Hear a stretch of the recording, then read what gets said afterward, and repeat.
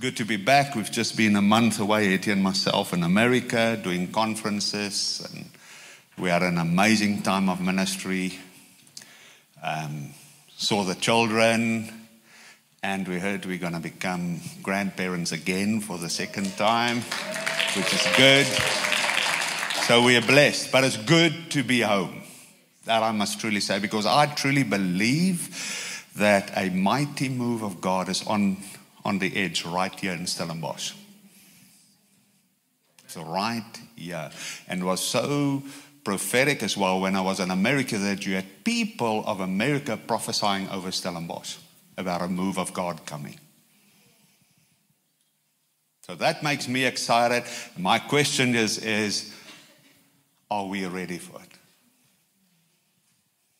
I know what we pray, I know what we ask. But are we ready for the move of God? You look in the Old Testament where God appeared in the tabernacle and everything, people could not even stand. So we've been created to reveal Him and to distribute His presence, to steward, to administrate His presence. What does it mean? To release the fullness of God in His glory. So we need to step into a place of maturity. We need to get mature. So we need to step into this place where God comes and consumes you in such a manner that every part of your being, your body, soul, and spirit craves for God, holds onto Him, cleaves onto Him, and never wants to be separated. Not one second, even when you are sleeping. So I'm going to give you some keys this morning, what the Lord spoke to me about in America. Some things that we need to um, put systems and structures in place in our lives, things we need to encounter, things we need to do, that we are prepared for the goodness and the greatness of God. And we're not going to be religious. Remember what God says, 1 Corinthians 2 says, certain things are just for people only that moves in the spirit will understand it. To the flesh, it is foolish. And so many times we shut down the gates of the supernatural. When people talk about spiritual things, supernatural things, we decline it, we reject it. So we're shutting down that gates that so that we ourselves will not be able to apprehend and to administrate and to steward who God is and what He wants to do in you. Good thing that the Lord showed me, and we're going to um, Genesis 28. And we all know what happened in Genesis 28 with Jacob. But listen now. What happened in Jacob's life needs to happen in your my life. So there's an encounter that happened. We know all about Jacob's ladder. But if you're going to look at Jacob's ladder, there are so many keys in it that needs to take place in your my life. Things that we need to consume, that we need to apprehend, that we need to bring into our own lives and build our structures on that to be strong and courageous in the times to come. Because I believe the Lord showed me a, a, vision. He took me one night in a trance and a vision, and He showed me the next 30 years what's coming. And I'm telling you now, we need to be ready. Yes, darkness is coming and darkness is going to attack and a lot of things going to happen. But I'm telling you that the glory of God is going to fall upon this earth And you and I will be amazed, will be blown away. Darkness will be blown away. So there's a shaking coming. And the shaking always comes when darkness are there because the Lord says, I hide myself in the darkness. And I'm telling you now, this is the time to reveal Jesus Christ in the fullness of his glory. And do you know how um, special you are? Because God has chosen you for a time and a season to reveal him for the greater things. This is the perfect time to reveal Jesus Christ. I'm going to read for you out of the Amplified, um, Genesis 28, verse 11. And he came to, this is Jacob. He came to a certain place and stayed there overnight because the sun was set. Taking one of the stones of the place, he put it under his head and he lay down there to sleep. Listen now.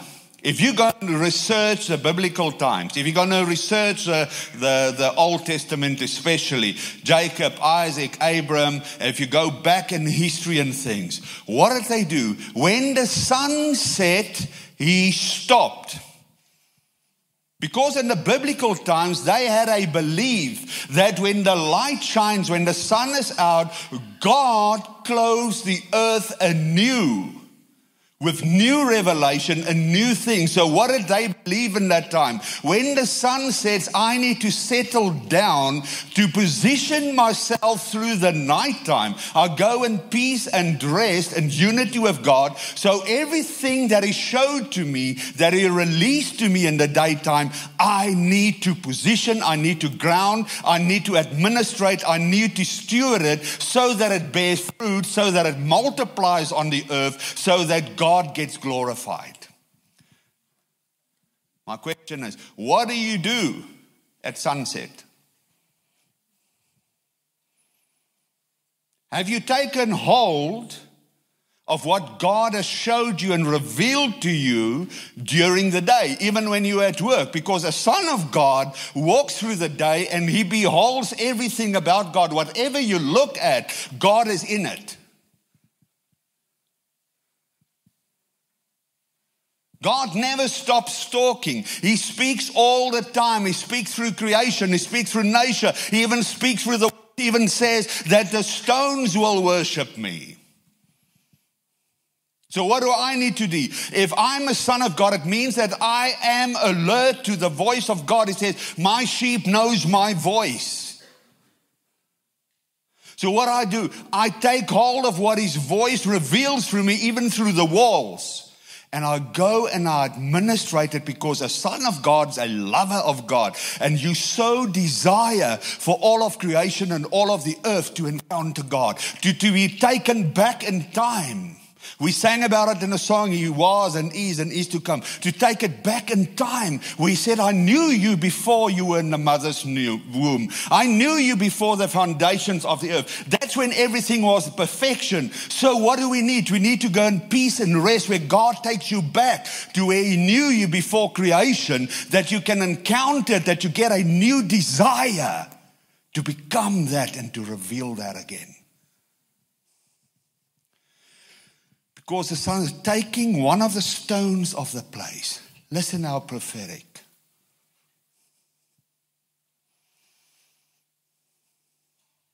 The rock. Yahweh.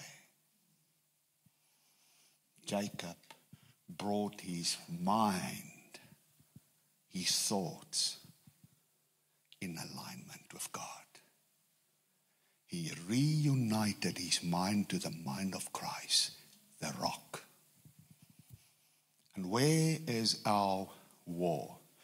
In the head.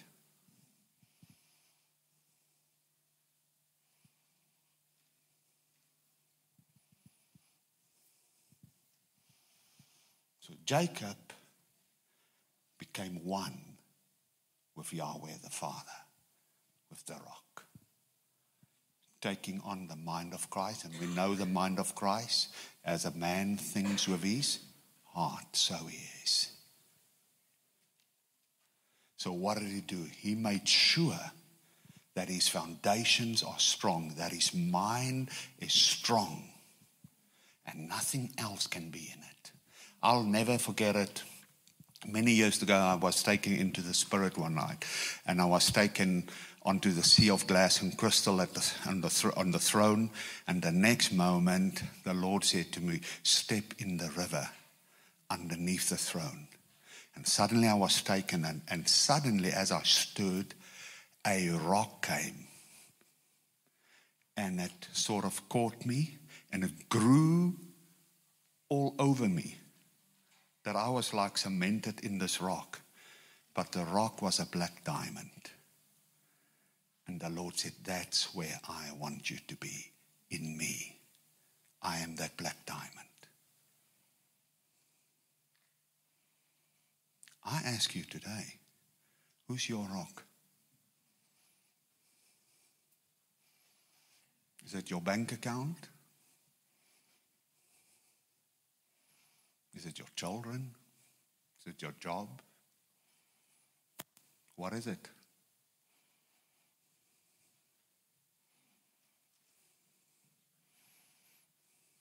What drives you in life? What is your focus? What consumes your mind?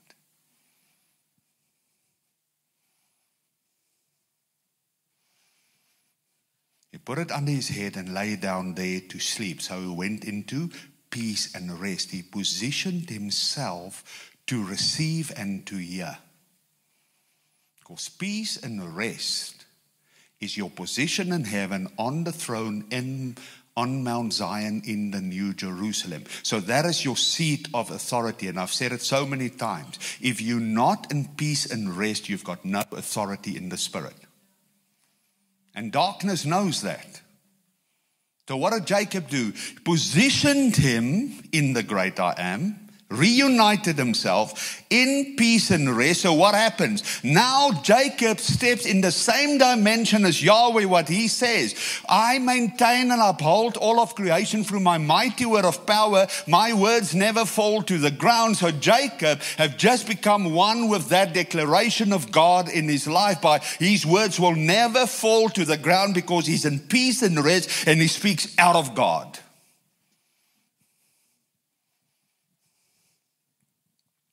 And he dreamed that there was a ladder set up on the earth, and the top of it reached to the heaven, and the angels of God were ascending and descending on it. So, what is the ladder? ladder? What does the ladder represent? The ladder is the journey on the DNA string of God. And the, that DNA string of yours are exactly the same as the DNA string of God because He said, I gave you everything of myself. I gave you my fullness. So, what happens now? Listen how prophetic. Listen how God does everything, created everything to walk, to walk in unity with each other. Because He says in 2 Corinthians 3, verse 18, I take you from glory to glory. When you walk on my ladder, on my DNA, I take you up from maturity to maturity, from glory to glory, and I reveal dimension to dimension to dimension to you. So, every step that you take, with the rock in unity, you're stepping on a new dimension of his DNA, and it's a new revelation. Let's take it further. Each and every step that you take is a new scroll scrolls of the times and the seasons that you are walking in. It's your daily scroll, your weekly scroll, your monthly scroll, your yearly scroll. Everything is a revelation, every step that you take. And that's part of the string of the DNA is scrolls that are hidden in Christ that shows you your journey, his plans, his purpose, his future for your life. So every day that you and I walk intentionally and with a purpose to glorify glorify Him and to manifest heaven as it is on earth.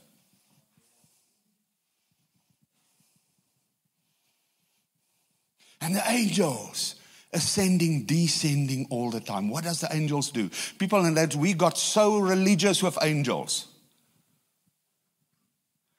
What do they do?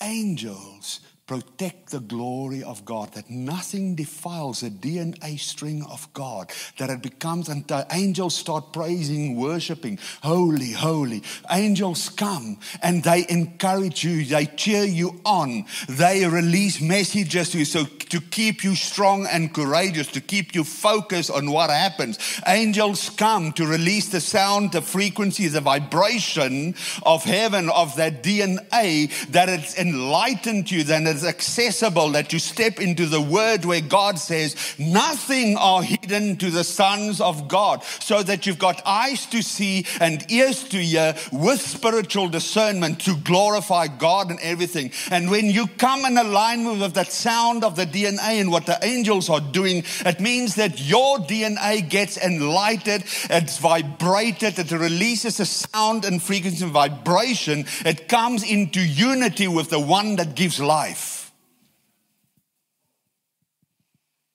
You become, as we sang, a house of miracles.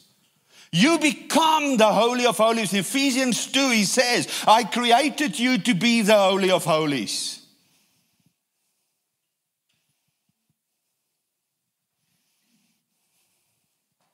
That's why in the season and times you need to work with angels. Believe me, Jesus did it. He sent them, He created you for a purpose to help and to assist you.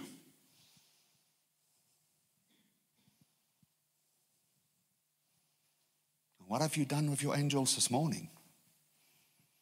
And we come with the scripture. We take one scripture out of the word and said, Only God instruct angels. It's a word that says, God commands the angels upon you.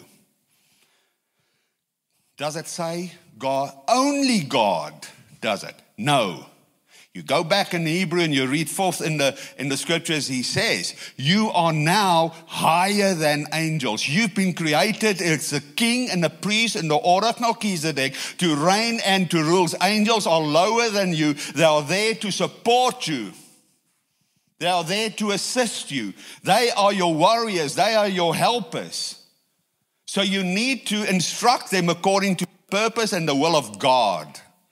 Let me make that clear. Instruct them according to the purpose and the will of God, not your own selfish desires. And I've always explained it. When a president or king, it's wartime, they sit in their office and instruct. They're not in the front line. You're a king, so you instruct.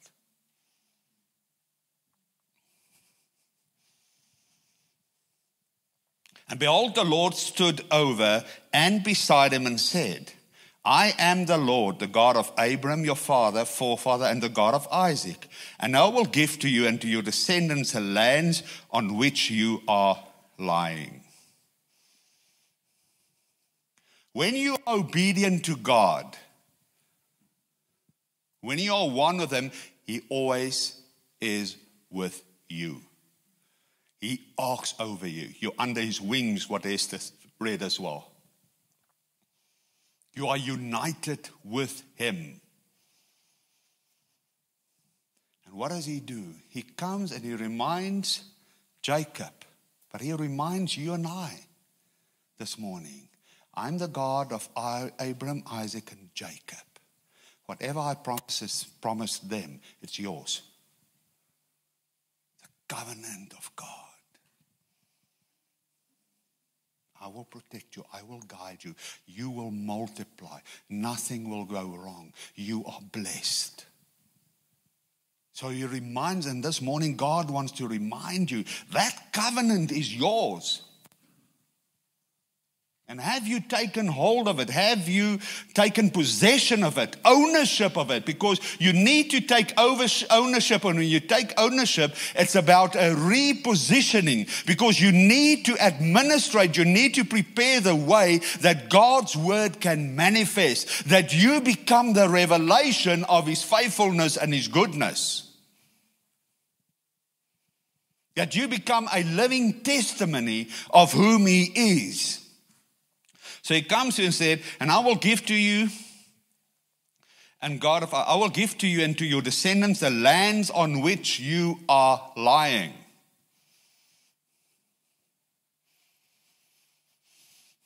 Now, how do we think in the natural? We might think I'm lying on the land of Stellenbosch or the land of South Africa. But isn't the land of the globe all connected? in some way.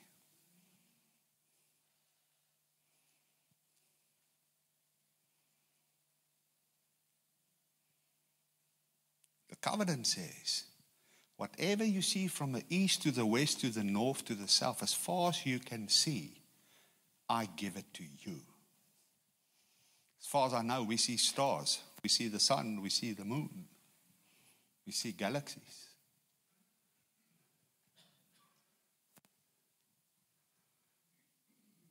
Everything you lay your eyes on, I give to you.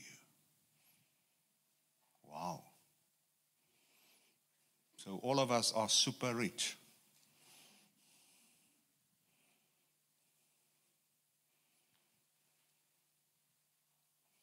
You've got a God that declared things to you before the foundations of the earth because he says in Ephesians 1 I showed you everything and I showed you your purpose, your calling, your destiny. And he gave it to you before you were even on the earth. Question is what are we doing with what he has given to us? What are you doing about it?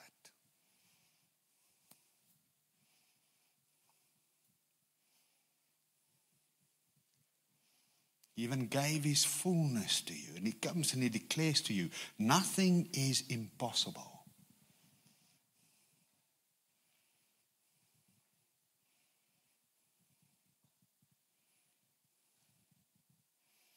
And we focus in this time and season so much of the darkness, so much on what is wrong, that we reject his word upon you. His promises, nothing is impossible.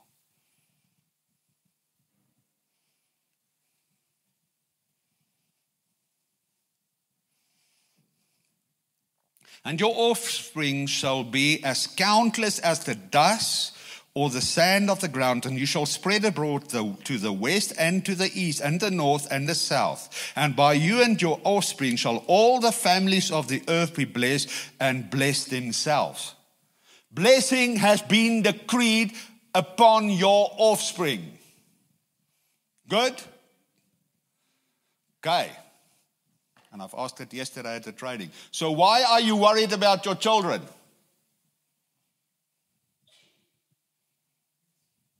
Come on. The only time you're going to be worried is if you are out of alignment. So you've taken your children out of the blessing because the parents are disobedient. Because God declared a blessing to your offspring. Your children can't get away from God if you are in alignment.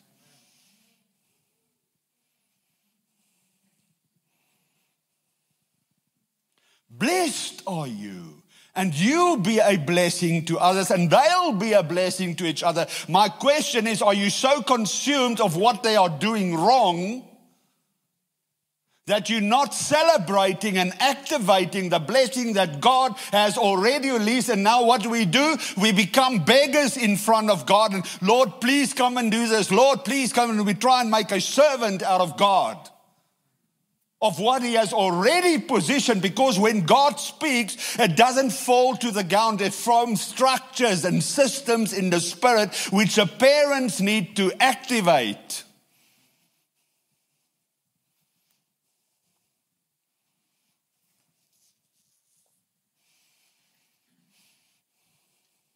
You see how we've been caught up with religion.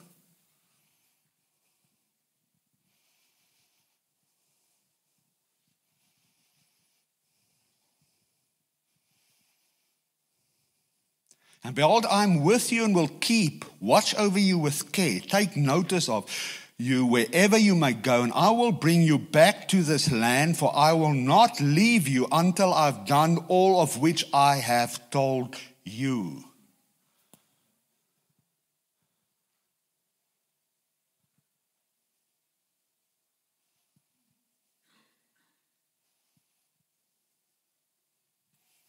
Listen carefully what I say. Behold, I am with you, will keep you.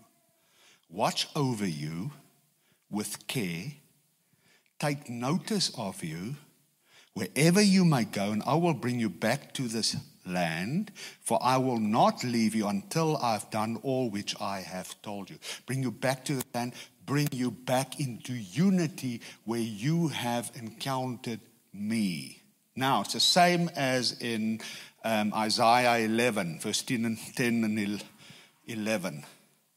Let me just go there quickly.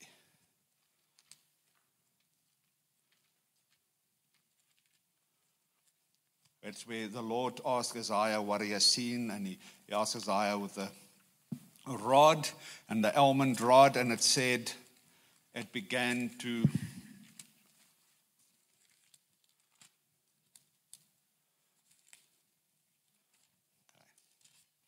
10 and 11. What does he declare there in Genesis 28? And he comes to Isaiah um, 11, verse 10 and 11. It shall be in the day that the root of Jesse shall stand up as a signal of the peoples. Of him shall the nations inquire and seek knowledge, and his dwelling shall be glory.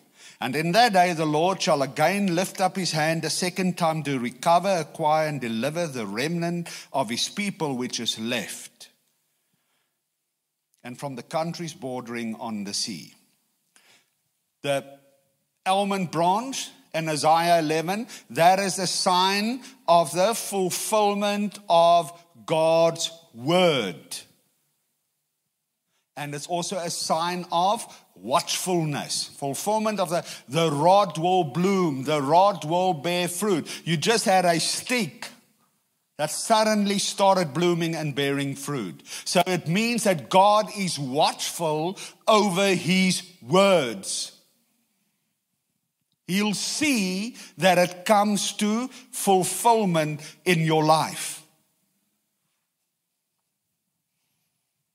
Do you believe it?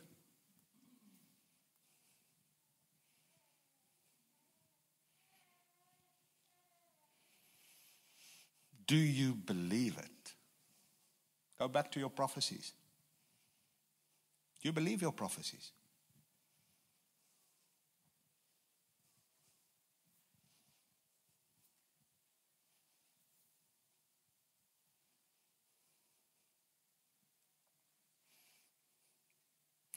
I will not leave you until I have done all of which I have told you. Do you listen to God or do you listen to the world? Are you listening from the Spirit or are you visualizing and listening in the natural? As soon as you're in the natural, you've rejected the Spirit. And that's our problem. We keep on looking at everything and circumstances, everything in the natural. I'm going to be blunt. You're going to miss God.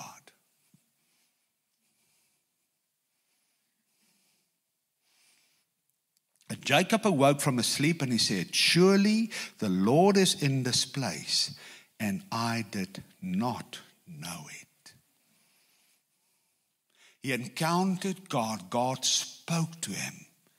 And then he realized God is here, fulfilling his word. I will never leave you. I want to tell you something. God is not only here at church. God is not only with you when you go and read your Bible or when you pray. He's with you each and every second. And how do you host him? At your business functions, at your braais, at your whatever you've got, at your work. Is he there? Are you hosting him as the King of Kings, as the great I am? The one that your next breath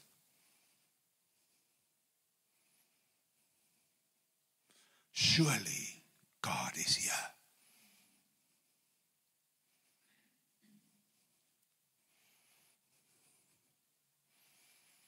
He was afraid and said, How to be fear and reverence is this place?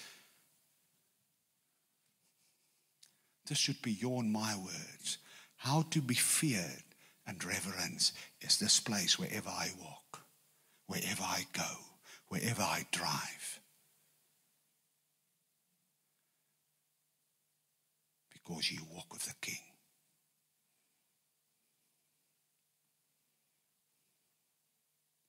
Are we aware of that reverence and fear wherever we go? That fear of His goodness, being in awe and amazement of His glory, His beauty, His splendor, His extravagance, His faithfulness, His love. That's the thing that the world have lost the fear of the Lord, the reverence and the fear of the great I am. Because once we step back in humility and that fear and reverence, we're starting to host Him. You're starting to walk in awareness of God. So then you start to be a person of influence, a person that changed atmospheres, a person that changed creation. Because you're supposed to participate with God, create with Him all the time. You never stop creating, even your mind creates all the time. This is none other than the house of God, and this is the gateway to heaven. Want you to point at yourself now and say, This is a house of God, the gateway to heaven for everybody else. Why do we pray, Please, Lord, I want you to come now? If you are the gateway, you are the house of God, He's already with you. You are the Holy of Holies. You are the revelation of Jesus Christ.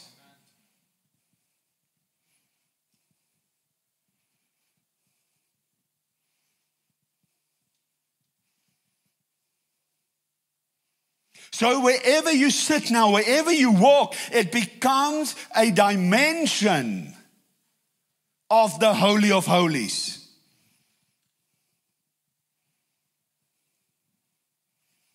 You see how religious we've been thinking that one day when I die, I'm going to go to heaven and then I'm going to see the Holy of Holies.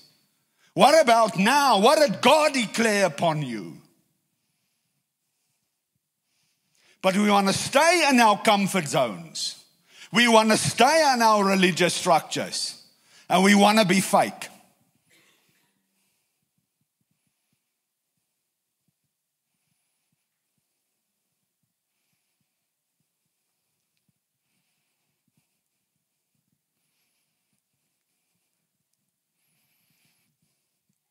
You are a house of God. So reveal Him who dwells in you. Who dwells in you? If somebody that's lost walks through that door now, will they be consumed by God?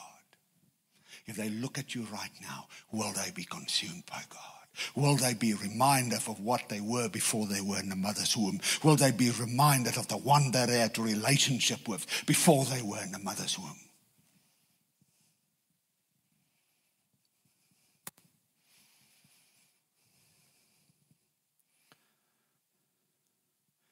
You are the gateway to heaven because you won with Jesus the door. So the reality is, we should ask ourselves how many people encountered heaven today because of you? How many people got reunited with Christ by you just walking past them because of what you are? In what dimension you stepped in, what you have acknowledged, what you have taken hold of, what you said, Lord, I trust and believe it. I'm going to manifest it. I am I will be it. it is not becoming it. Ja, maar en ek gaan nog heilig word. Ek werk nog met dit. Ek gaan nog dit. Nonsense. God says you are that.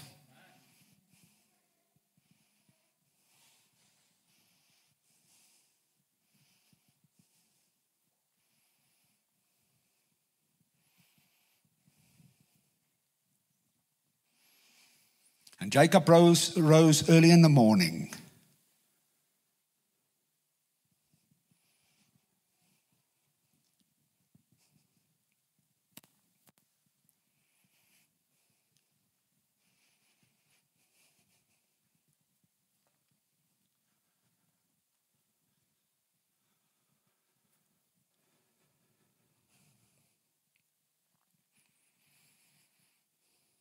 and took the stone and put under his head.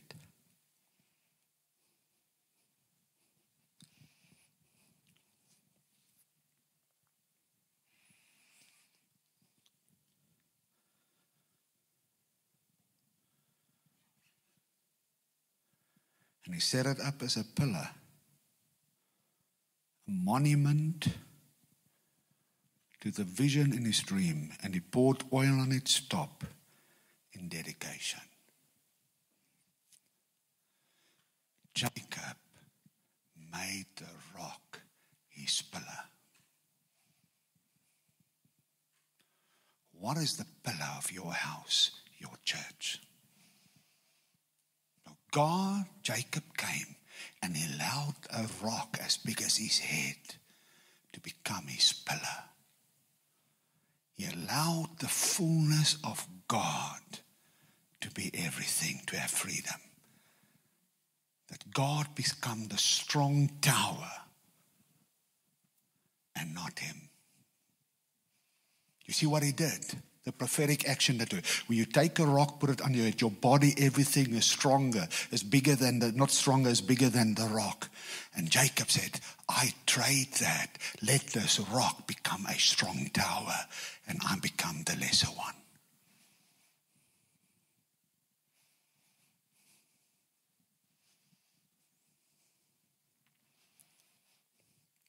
He poured out oil he anointed it. You have been anointed. You've been oiled with the presence and the carrier of the Holy Spirit.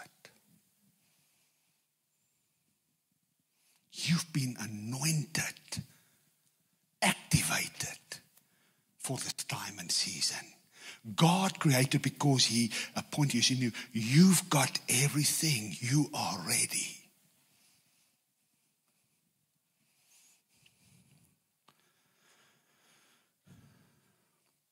And he named that place Bethel, the house of God.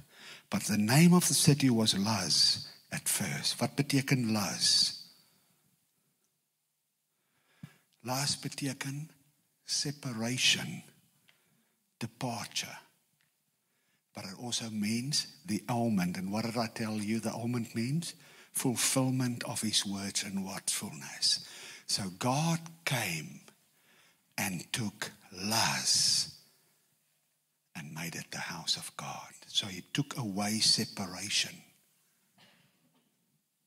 and he brought it back into unity. He took away departure and he brought it back into oneness. So he said, From now on, my children will not be separated, will not depart from me. But my word will bring them into the fulfillment. My watchfulness will bring them back into unity. Where is that? In the house of God. So, what is part of your commission? Is to bring back fulfillment and unity of Christ into man. Then Jacob made a vow saying, If God will be with me and I will keep me in the and will keep me in this way that I go, I will give him and will give me food to eat and clothing to wear, so that I may come again to my father's house in peace. Then the Lord shall be my God.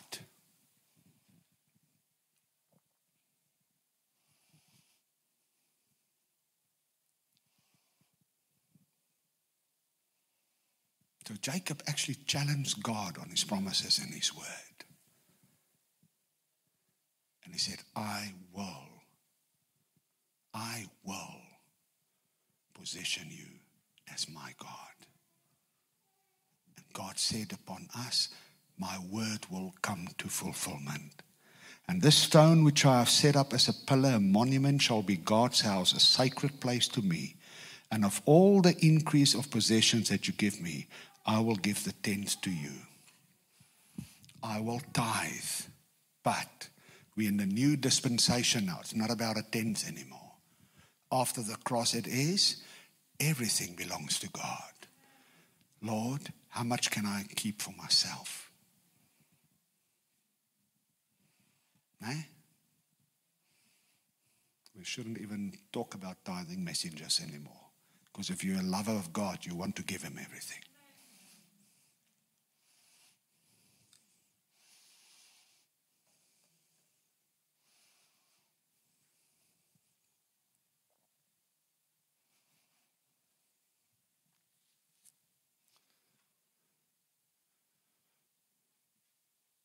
You and I need to go and sit in our own lives. Have we positioned ourselves with the rock? Are we a house of God? Are we living in spirit and truth? This is the greatest time and season ever in creation.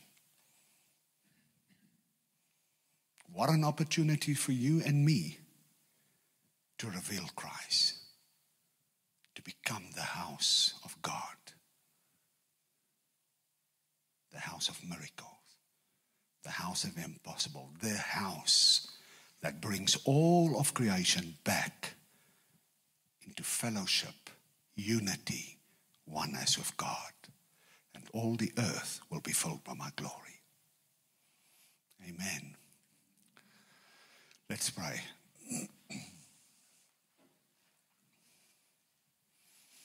Father, we come and we bless you. We say thank you.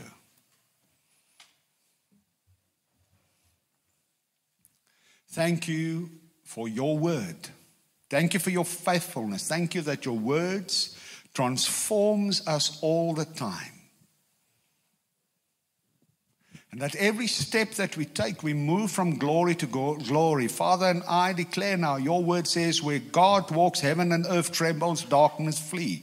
We declare now where we walk because we walk with you as the house of God, as the Holy of Holies. Heaven and earth trembles, darkness flees. That all sickness, all disease, all oppression, all depression, all poverty, everything right now gets destroyed in the name of Jesus Christ. Lord, we come and we change our, our prayers from being beggars to being kings. We come where we've lost our joy, we trade it for joy, Father. And we change our lifestyle to a lifestyle of celebration because of what you have said. We trade our unbelief for faith and for radical obedience.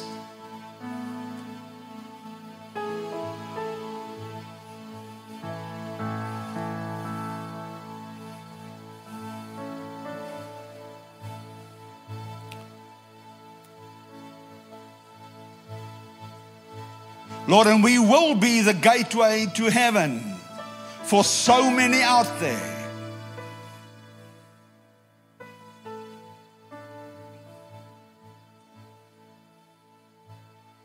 And will become living testimonies of Yahweh.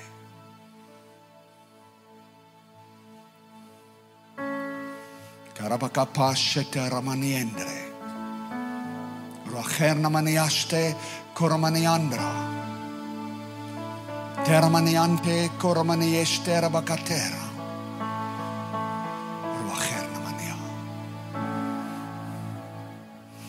Lord, and we align our body, souls, and spirit to the sound, the frequency, the vibration, the harmony, the symphony of your perfect love.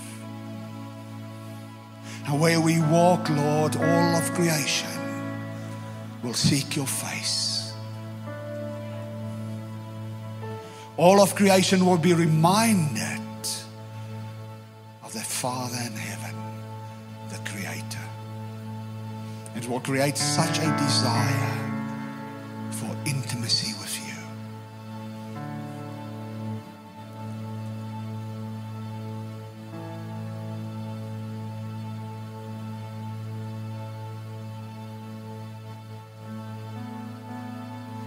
Command our body, souls, and spirit, all of creation, everything around us, just to praise and to worship God,